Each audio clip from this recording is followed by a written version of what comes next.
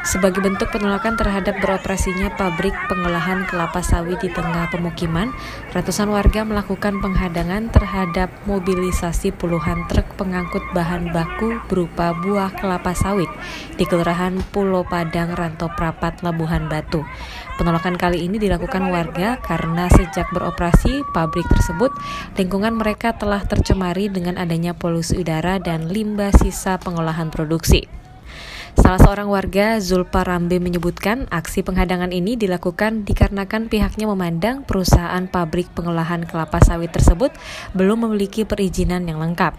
Aksi penghadangan terhadap puluhan armada pengangkut buah sawit ini merupakan tindak lanjut dari aksi unjuk rasa yang mereka lakukan untuk meminta penghentian beroperasinya pabrik tersebut.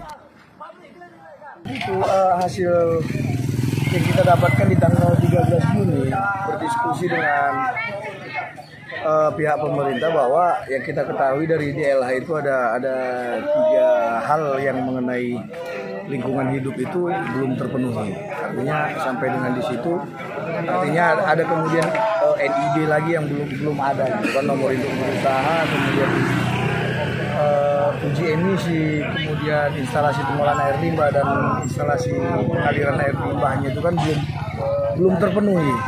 Jika izin ini belum lengkap, kemudian dia beroperasi, artinya itu kan pabriknya itu ilegal. Dan kemudian izin-izin yang sudah dikeluarkan itu terindikasi cacat hukum karena banyak regulasi dan aturan-aturan yang dilanggarnya. Dari Labuhan Batu, Sumatera Utara, Samuel Tampu Bolon melaporkan.